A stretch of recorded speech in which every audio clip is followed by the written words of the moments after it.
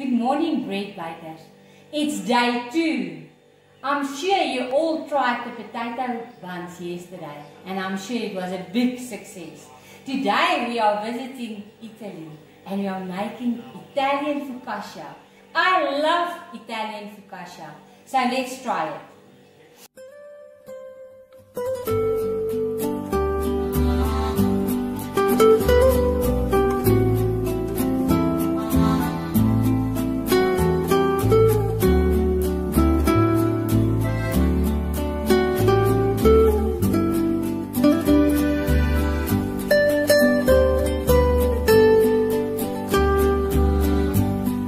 Música